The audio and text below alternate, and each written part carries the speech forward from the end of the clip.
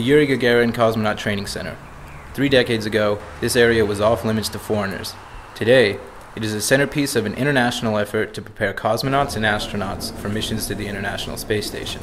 We are going to see the crew of Expedition 38 and 39 learn to survive after an emergency landing in an ocean.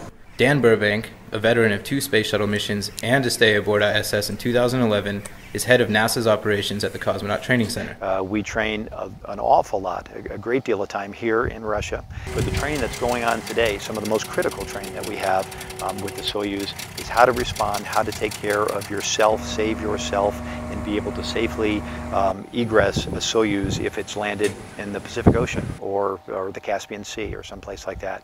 In the spacesuit right now, the things they have to do um, they've entered in a pressure suit, a full space suit called the Sokol. The Soyuz can land, you can be in the water, keep the hatch closed for a period of time, but eventually crew needs to make their way out of the capsule.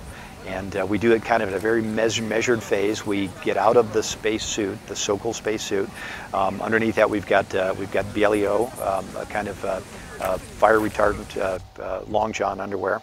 So there's multiple layers. You'll end up with about four or five layers. The very last layer to go on is called a Forel, and that is a waterproof, almost like a, it's a made out of a neoprene rubber.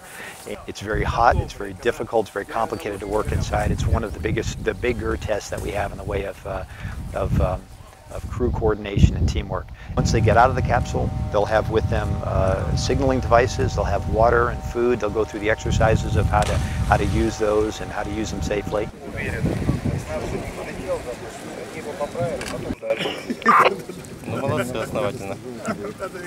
I did learn the Russian language. Um, I think as a person who only spoke one language for most of their lives, um, for me, rocket science is much less complicated than, than Russian grammar is and, and Russian vocabulary. So the training for a Soyuz flight is different and more challenging for me than training for a space shuttle mission in that there's this added component of the complexity of the language and so forth. So we, the language we use in, uh, for spacecraft is very technically oriented. It's almost a third language. You have English, you have Russian, then you have um, a technical version that's sometimes a combination of the English and Russian.